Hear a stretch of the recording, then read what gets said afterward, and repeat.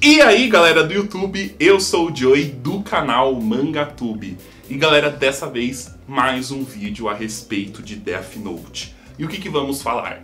Bem, se eu falar pra vocês assim, ah, vocês conhecem o Nir, aquela menininho de cabelo branco que gosta de brinquedo, fica enrolando o cabelo assim, aposto que vocês vão falar, sim! Se eu falar pra vocês, vocês conhecem o Melo, aquele loiro que gosta de comer chocolate e que ganhou uma cicatriz em um olho lá? Vocês vão falar o quê? Sim! Se eu falar assim pra vocês, vocês conhecem o Matt, aquele que anda com uma touquinha, tem um cabelo preto, ele gosta de videogames e tudo mais, o que, que vocês vão falar? Não! Provavelmente vocês vão falar não. Mas vocês sabiam que o L, ele tinha três possíveis substitutos? O Nir, o Melo e o Matt. Joey, como assim? Você está inventando essas coisas? Não, galera. E o intuito desse vídeo é falar para vocês a respeito do Matt. Quem que é o Matt, galera? Um dos possíveis substitutos do L. Então, se você quiser saber, continua aí que após a vinheta eu vou falar tudo o que você precisa saber sobre ele e mudar aí a sua mente ver que o L ele não tinha dois, ele tinha três possíveis substitutos.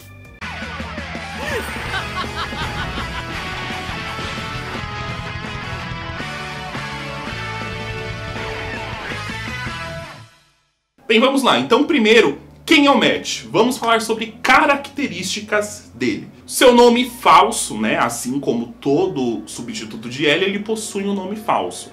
Só que o nome falso dele é Matt, o mesmo que o seu nome verdadeiro. Só que o nome verdadeiro é Matt Divas. Ele nasceu no dia 1 de 2 de 1990 e morreu no dia 26 de 1 de 2010. Morrendo, né, uma semana antes de fazer 20 anos. Ele tem 1,68 de altura e pesava 52 quilos. O seu tipo sanguíneo é O. O que ele mais adorava era videogames e o que ele mais odiava era sair de casa. Mas o porquê que muitas pessoas não conhecem o Matt e não sabem sobre a sua importância para a história? Porque as suas aparições no anime e no mangá de Death Note são completamente diferentes. Muitas pessoas, por terem assistido somente o anime, não sabem quem foi o Matt.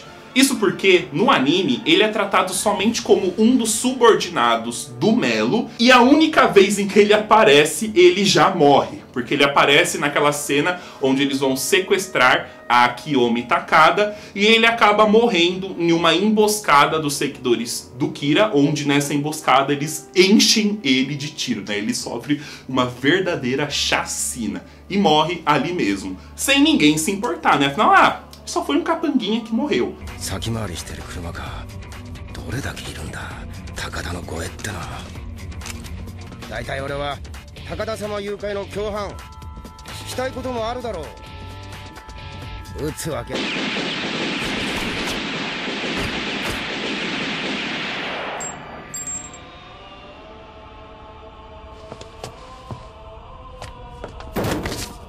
Porém, no mangá, isso é completamente diferente. Bem, Joey, então quem é o Matt? Ele é um rapaz que veio do Uemis House, que é aquele orfanato, né, que o, o Atari custeava, que o Atari que tinha criado, enfim, vocês já conhecem essa história. Depois do Nir e do Melo, o Matt era a mente mais brilhante daquele orfanato e por isso ele também era um dos possíveis candidatos na substituição do L quando isso fosse necessário. Ele possuía total confiança do Melo, inclusive colaborou com ele durante o caso Kira. Ele ajudou o Melo espiando os atos da Misa Amani, e inclusive foi o responsável por passar muitas informações importantes da Misa pro Melo, fazendo com que o Melo deduzisse que a Misa era o segundo Kira. Ele era muito bom com tecnologia. Inclusive, ele vigiava tudo através dos monitores, né, dos vários monitores. Na história tem partes que mostra ele vigiando a Misa através desses monitores que ele mesmo criava, né, essas câmeras, ele era responsável por toda essa parte tecnológica do Melo. Porém, ele tinha um grande defeito, que era a distração, né? Ele se distraía muito fácil. E isso também dava-se aos videogames, porque ele gostava muito, muito de jogar videogame.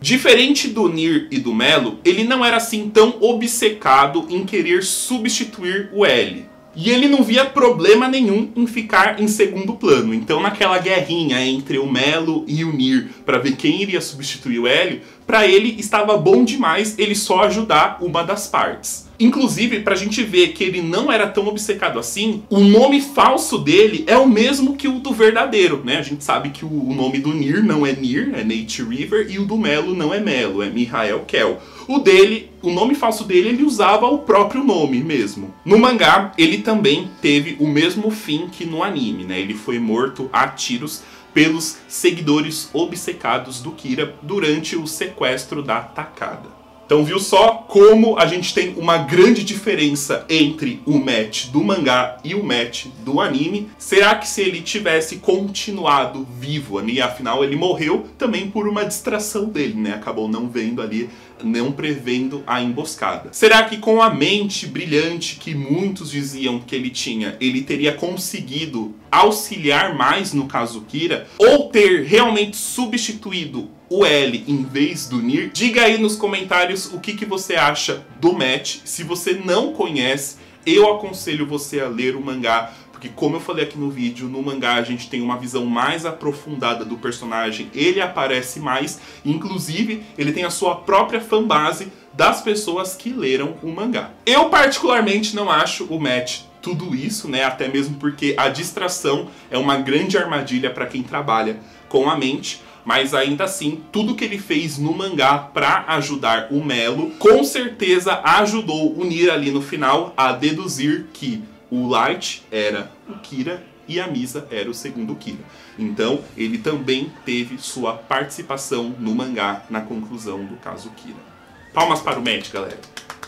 Então, se você gostou do vídeo, já sabe, deixa aí o seu gostei, se inscreva no canal se você ainda não for inscrito.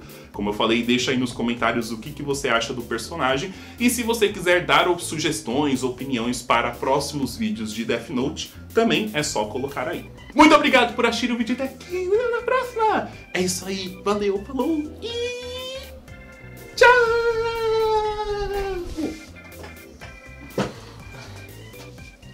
Match melhor que o Nier? Melhor. Ou até tidos. Ou até. Não é até. Ou até. Ou até ter substituído. Ou até ter substituído realmente o elo e não. O elo. Nossa. É um. Elo.